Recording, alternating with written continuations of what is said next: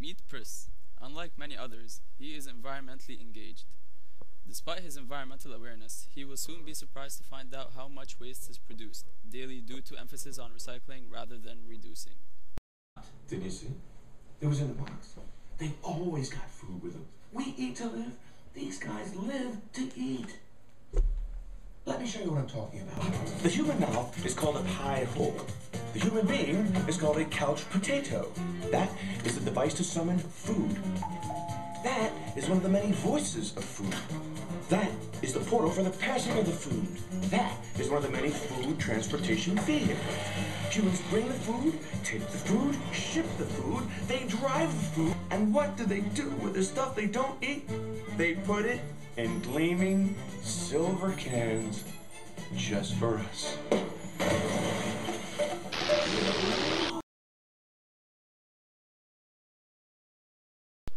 Guess Pris shouldn't order food tonight.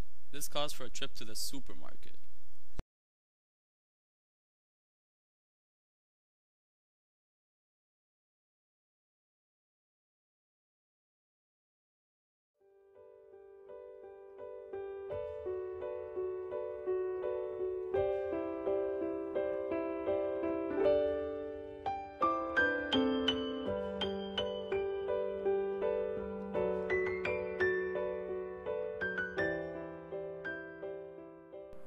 Reuse.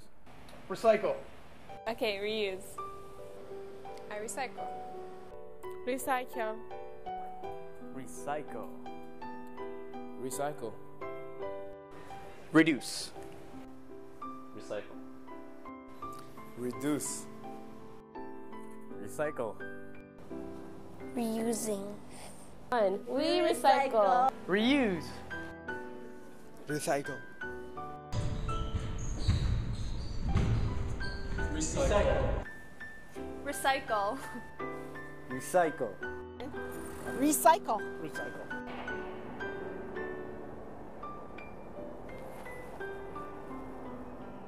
I reduce.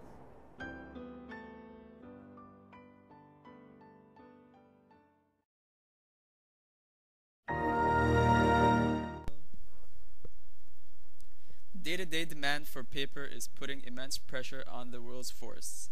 Over 40% of the trees cut in BC are used to produce paper, and one-third of Canadians' waste is paper and paperboard. In 2006, Canadians produced a total of 40 million tons of waste, with a general yearly increase of 8% from 2004.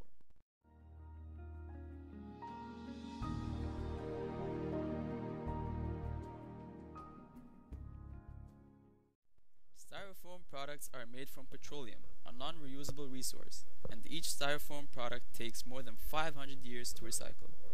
Reduce your usage of styrofoam products by replacing them with reusable items such as biodegradable plastic.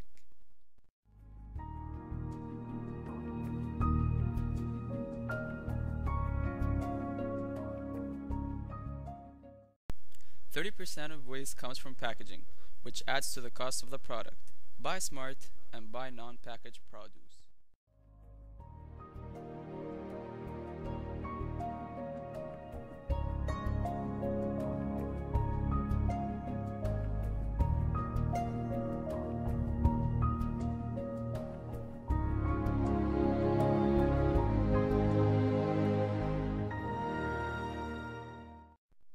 Everyone in the United States switched to using reusable bottles, it's been estimated that consumers would save $7 billion a year.